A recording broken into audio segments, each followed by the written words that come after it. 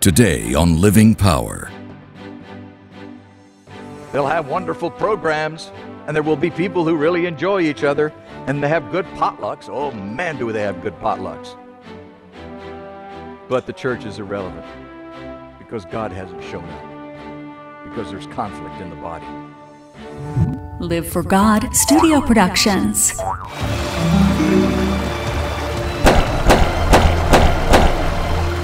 This is Living Power with Dan Hurst.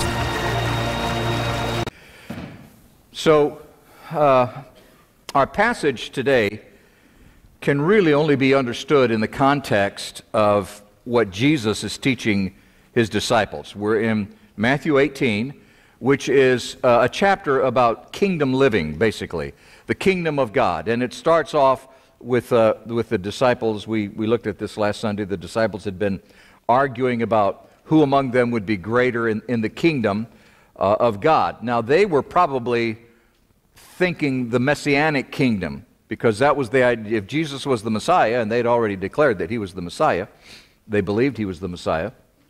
They believed the Messiah was going to set up his kingdom and bring peace on earth, and uh, Israel would be at peace, and, and uh, there wouldn't be uh, the Roman rule over them. And so they probably were, had this idea that at, at some point Jesus was going to set up this messianic kingdom, and so they were arguing amongst themselves about who would be greater in this kingdom. And it was a silly argument and a, and a dangerous argument because it was rooted in selfishness and arrogance.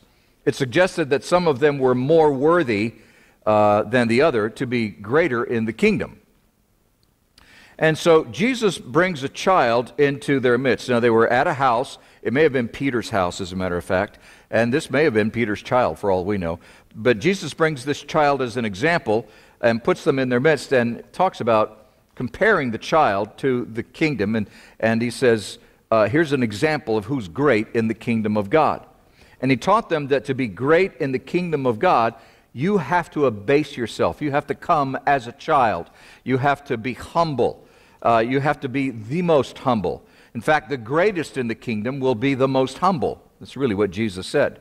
And, and, and that it's not about how great you are, but how small you are and how great your God is. And he tells us that we are to receive each other. The word that's used for receive is a word that means uh, to, ex- uh, to accept something as your own. It becomes your own. And I use the example if I give you a $5 bill and, and you take that $5 bill as your own. Um, and this is the idea that Jesus was saying that we are to receive each other as our own. In other words, as one of us, that we belong to each other. We're part of each other's life. And, uh, and in spite of the fact that we are all different. Now, God made us that way. Um, we all have a purpose and a plan within the kingdom. We're all so incredibly unique. Some of you are uniquer than others but we're all unique. We all have our own little, uh, our, our, own little basic um, design uh, from God, and it's for His purposes. But here's the key that we need to understand it's not our differences that define us, but rather our common ground our love for God, our love for purity and righteousness, and our love for each other.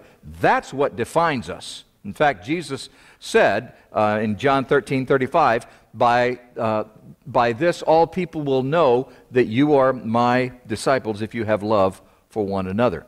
So it was really important for them to understand and grasp that, that they needed to be as children, that the kingdom of God was really all about God, not about them.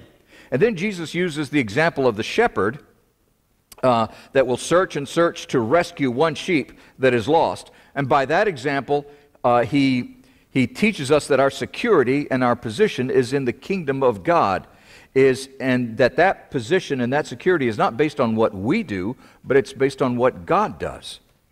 Uh, discover your security in god. You need to understand that you are secure in god.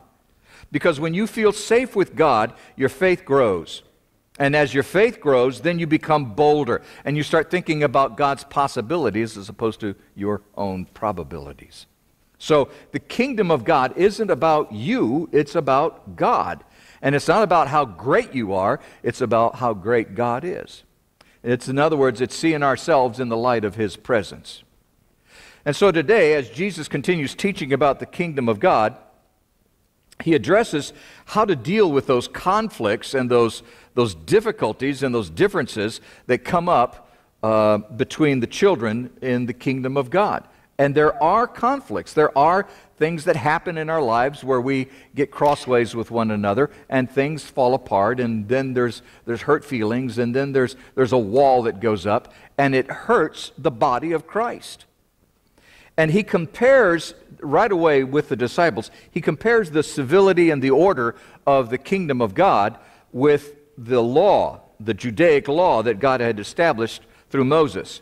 And it was important that he did that because the disciples were familiar with the law. They knew the law, they were aware of it. They were good Jews, they'd grown up being taught the law.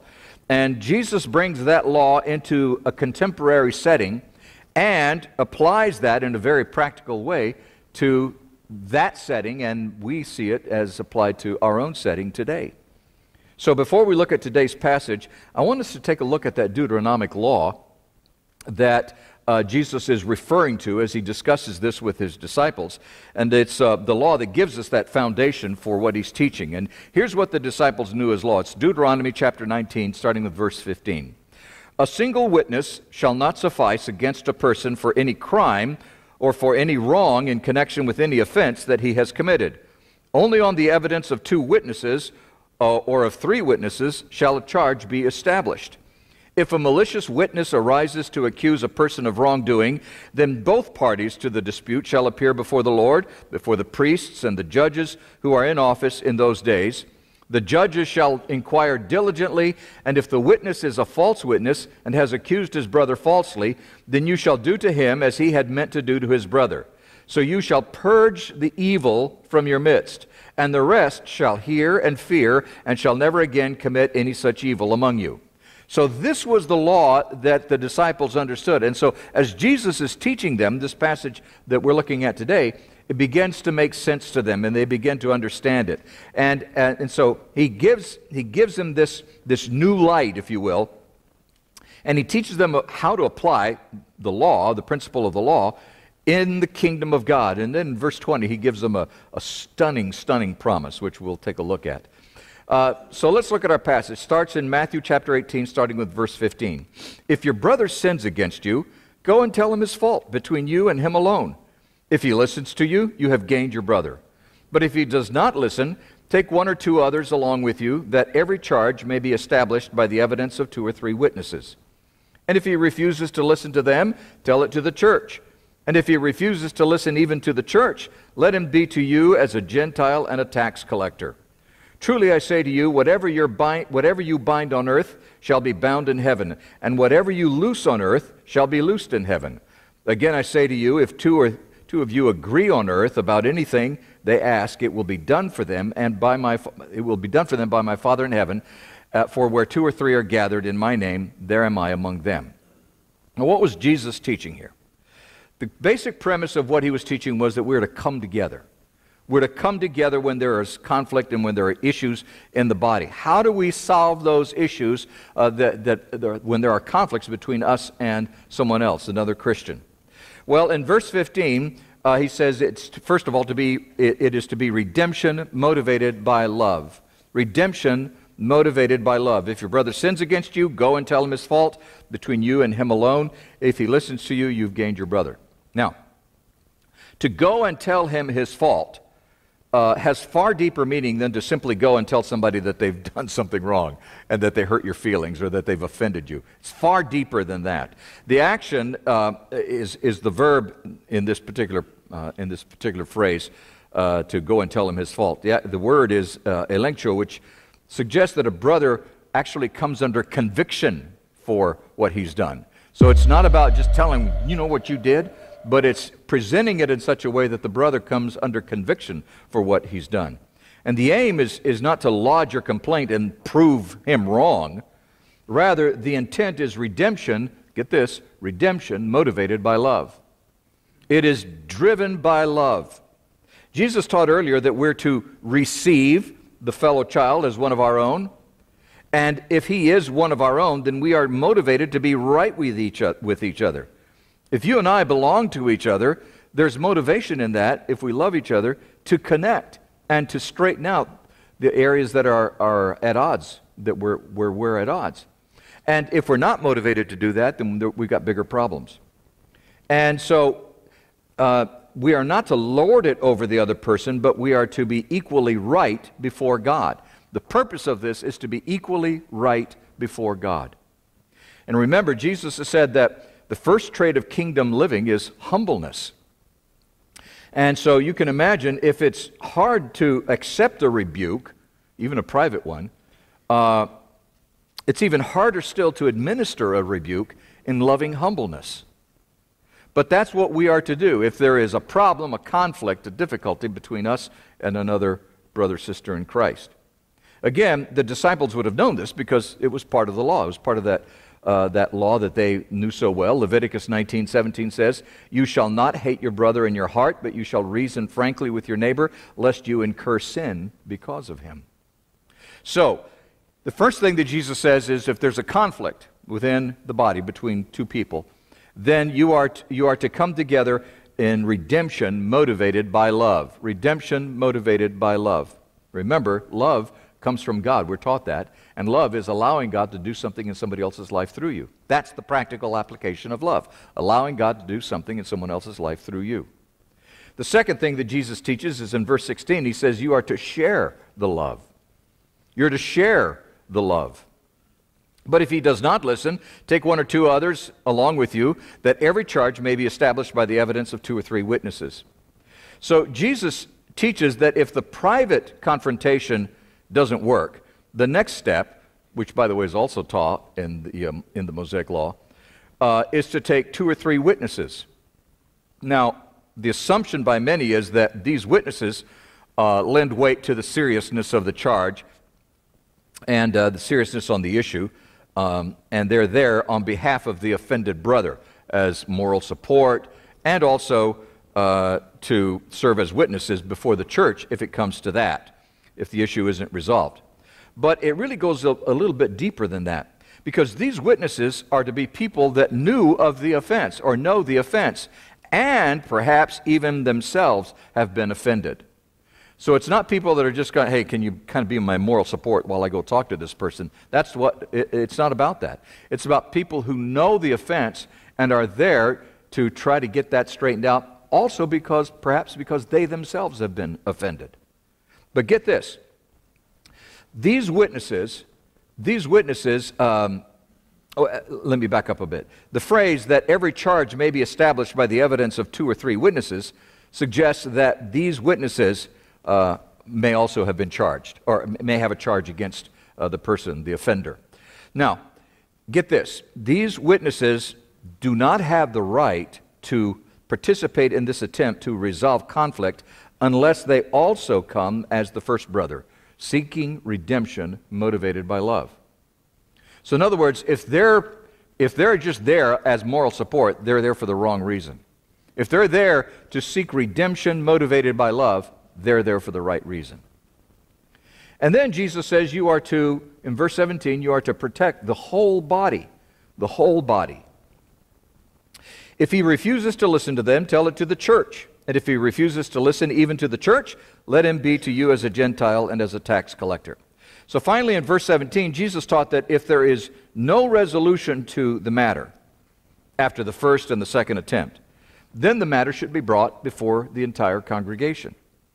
And if the brother that has committed the offense is not willing to settle the matter before the church, then Jesus says that the brother is to be treated as an offender to the whole church.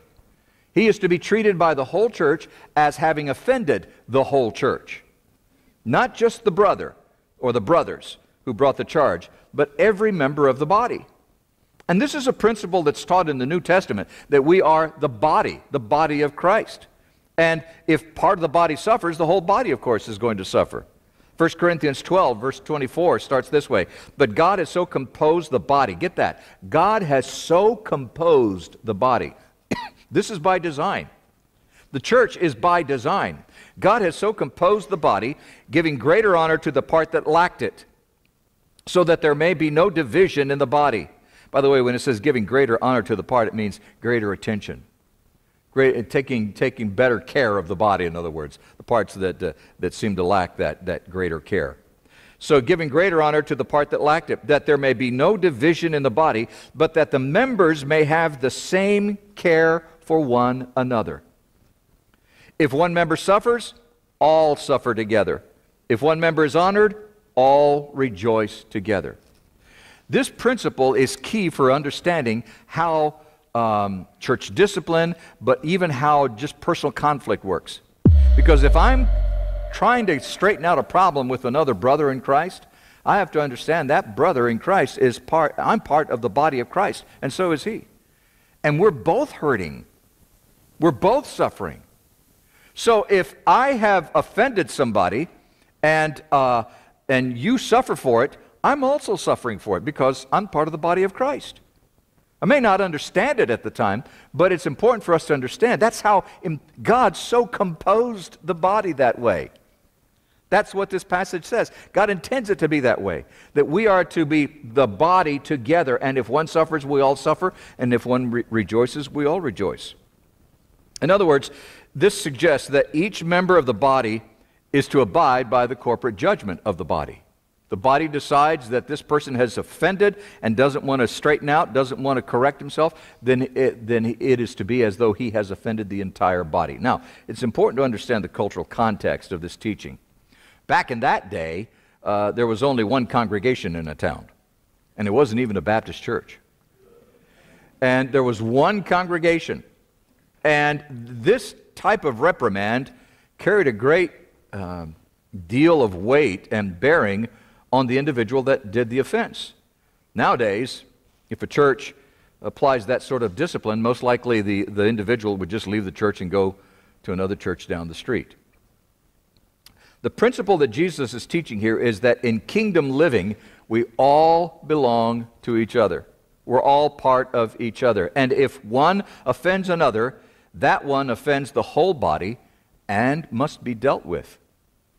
Then Jesus brings out this glorious truth in verses 18 through 20. I love this passage. Truly I say to you, whatever you bind on earth shall be bound in heaven, and whatever you loose on earth shall be loosed in heaven. Again I say to you, if two of you agree on earth about anything they ask, it will be done for them by my Father in heaven. For where two or three are gathered in my name, there am I among them. This teaching has sadly been completely taken out of context and completely misunderstood and mistaught. I've heard it so mistaught for, for so long. Uh, it's generally quoted to suggest that two people praying in agreement about something will have authority over the matter. Uh, the implication is that there's strength in numbers, and if two or three gather and they pray for something, that it will be done. But this passage is not dealing with prayer. In fact, the word prayer isn't even mentioned in it. It's not about prayer. Rather, what this is, remember it, take it, keep it in context. This teaching is that the two who agree are the offender and the one offended. That's what it's teaching. So it's saying that the, that the two who agree, the offender and uh, the one against whom the offense has been uh, committed, and then the assurance then is that if these two individuals in the church come to agreement concerning any claim that they're pursuing, that it will be allowed, it will be ratified, it will be approved on by the part of our Heavenly Father. That's what the passage is teaching. So put it in the context of what Jesus is saying. This is about kingdom living. And that's the principle of the, in the context of what Jesus is saying. Then Jesus makes this stunning, stunning promise in verse 20. It's a promise that's made several times through the Gospel of, of Matthew, several times uh, through all of the Gospels, actually. But here it is Matthew 18 20. For where two or three are gathered in my name, there am I among them. Now, it's really in, important for us to understand this. Uh, first of all, the word gathered means come together, come together in agreement. And what Jesus is describing is what he's talking about here is that his presence is dependent on that.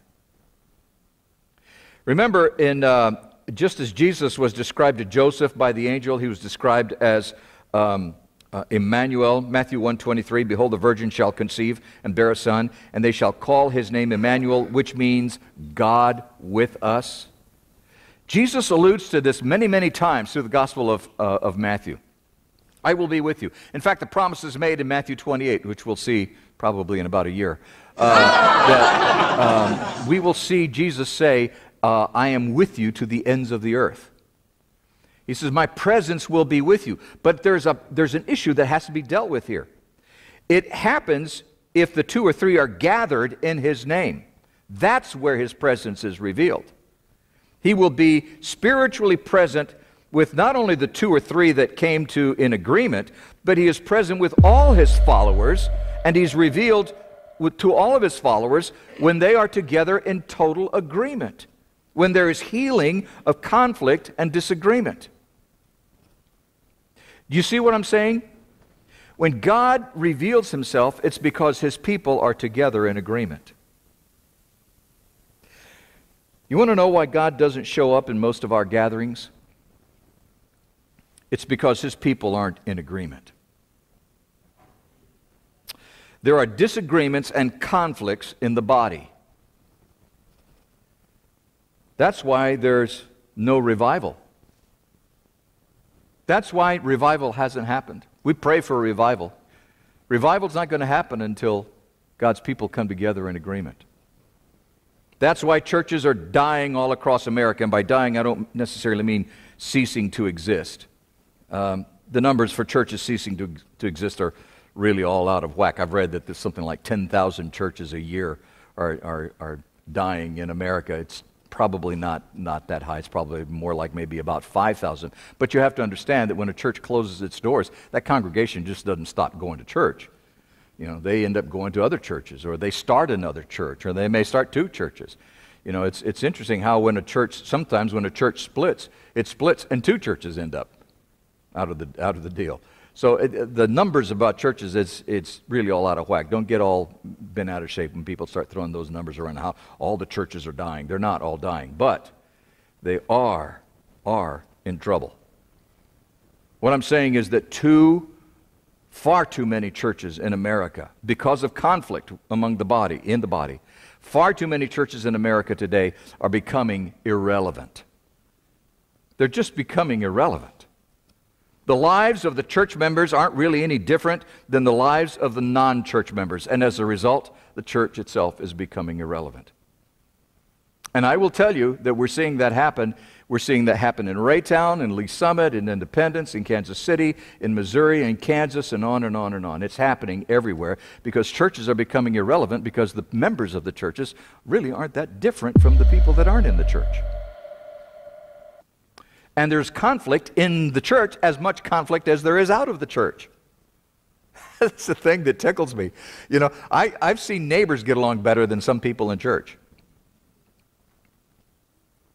And it's, it's, it's sad that we, that we don't understand this key principle. Part of our job is to come together in the body of Christ. Kingdom living requires that.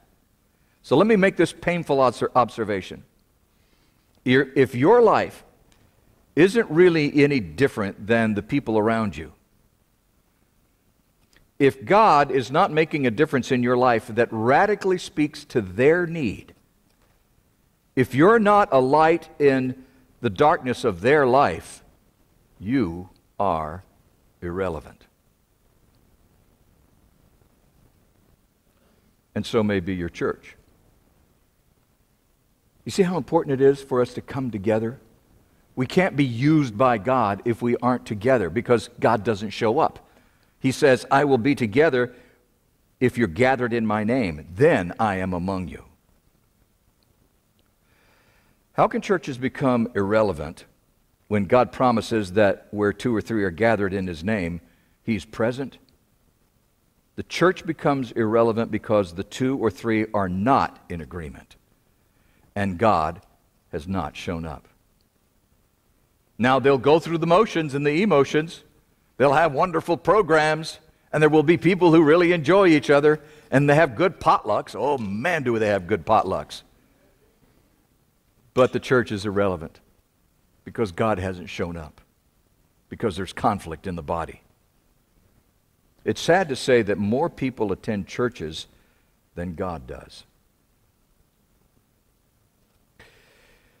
But the promise that Jesus makes is life changing. This is verse 20.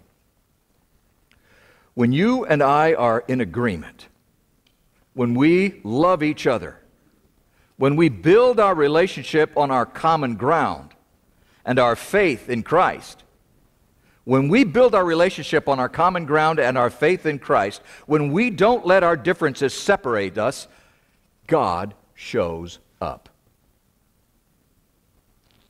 That's a promise. That's a promise from God. Is there another fellow Christian that you are at odds with? Then don't expect God to show up in your midst. It's not going to happen.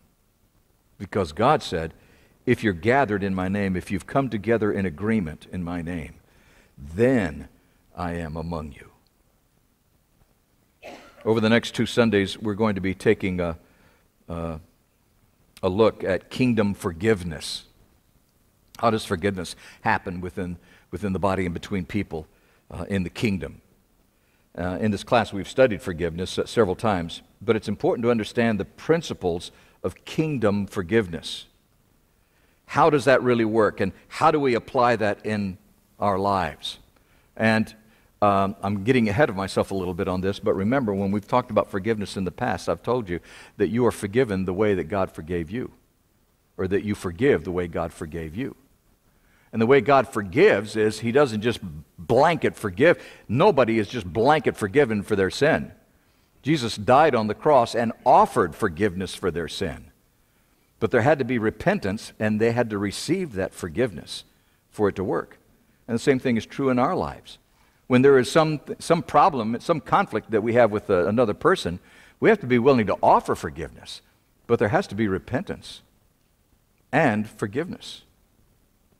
There has to be repentance and forgiveness. And if a person isn't willing to repent of their sin, then there's really no forgiveness. And God doesn't show up.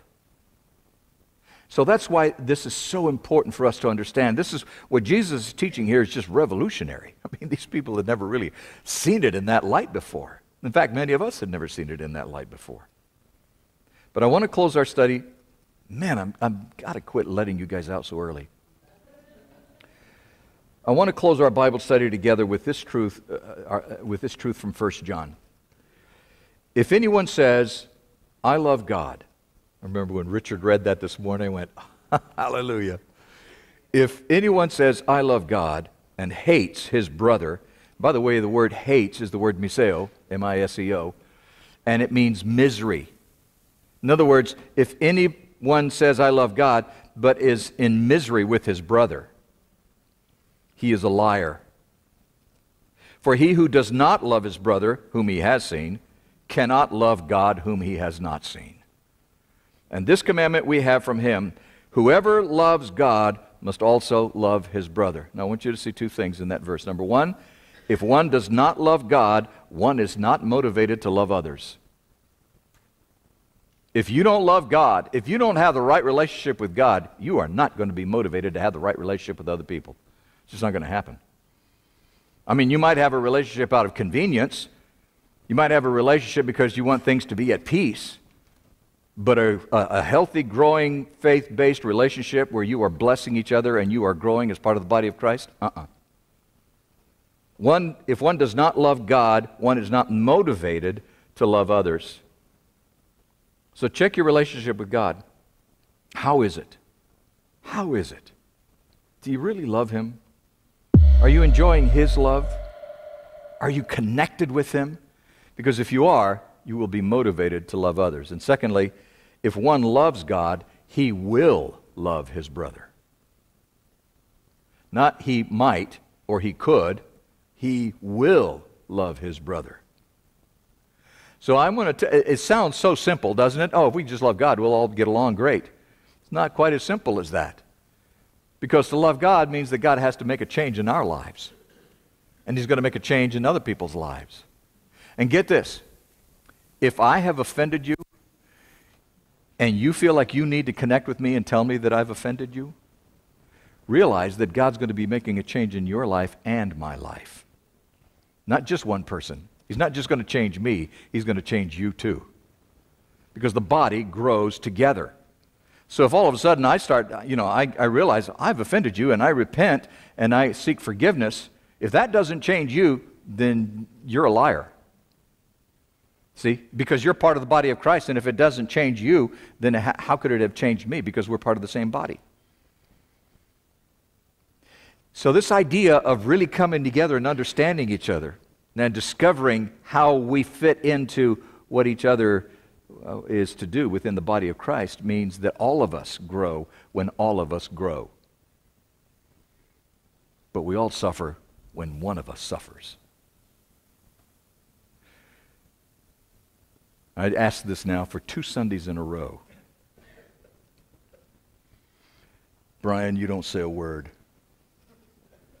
Any questions, comments, criticisms, or complaints? Really, seriously, do you have any questions or comments you'd like? Yes.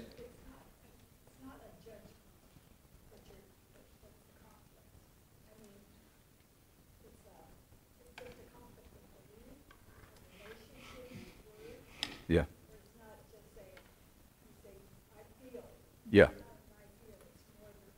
Yeah, I think that's a good observation. It's not a judgment. When you come before somebody, it's not really that you remember you're coming in humility, and it's it's redemption motivated by love. So it's not, and, and you're right to make that observation. It's not that I'm passing judgment on somebody. It's that there's a there's a conflict, a difference of opinion, and it, we have differences of opinion. It's okay to have a difference of opinion, but the relationship, remember, is to be built on common ground and our love for God. And so that's where we begin. That's, you know, the, the fact of the matter is, some of you will never agree with me on some things. But that doesn't mean that we can't have a right relationship. I mean, seriously, uh, why, why do we assume that we cannot have a right relationship simply because you believe something that I don't? Or that I, that I act a way that, uh, that you just don't like? I love what Ben was telling me earlier. May I, may I share a little bit of that, Ben? Ben was sharing with me that when he started coming to class seven years ago, that he didn't like me. I know that's hard to believe, but uh, uh, but he said there was just you know that he you know he'd never really gotten to know me, and and uh, he just it, there were some things that that he'd heard, and other people had said things about you know he's not the only one that doesn't like me. And so he heard some things from other people. Say, well, that Dan Hurst, he's just, you know, he's, you know, he's arrogant and he's, he just does whatever he wants to, and he's a rebel, and yada yada yada yada. And they're right. And, um, uh, but he, he really had some struggles with that. And they said just uh, it took a few years before God finally began to help him understand that, listen, we're both in the body. God made him his way, and God made me my way. And we, we have to understand that we're part of each other. And sometimes one of us is sandpaper. And sometimes we're just two people who are just really, really meshed together and come together. So God's always in the process of growing the body. And the body doesn't grow except by stress. It doesn't. Faith doesn't grow except by stress. There's got to be conflict for faith to grow. And so there's going to be conflict in the body of Christ, but that's how it grows. We get those conflicts worked out. And now we like each other. Sort of. Yeah, you know. Doris, by the way, so good to see you back. Doris was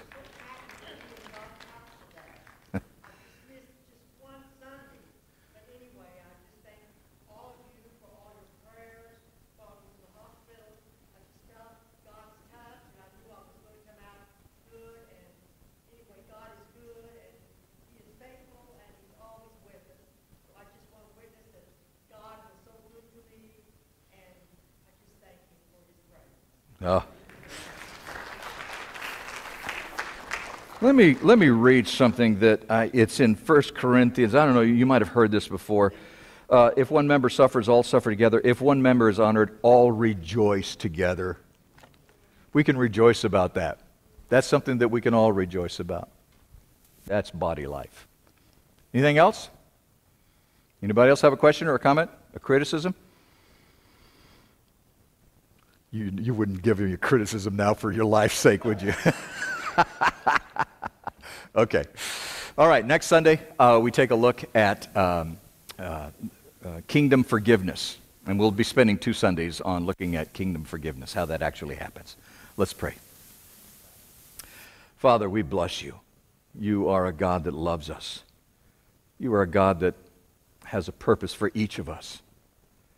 And we can celebrate that, knowing that you're up to something in each of our lives. So, Father, encourage us, encourage us to uh, seek the good for each other, to seek the best for each other. Encourage us to uh, put aside our differences and focus on our common ground and on you together. Then, Father, as you work those things out, be among us. Be among us. Show up in our presence, Lord, and uh, reveal yourself because we need that. We need to be motivated by you and by your presence in our lives. And so I'm asking you, Lord, to, to show up. I pray this in the holy and precious name of Jesus. Amen. Go away. On behalf of Dan Hurst and the Open Class, we want to thank you for watching. We hope it was a blessing.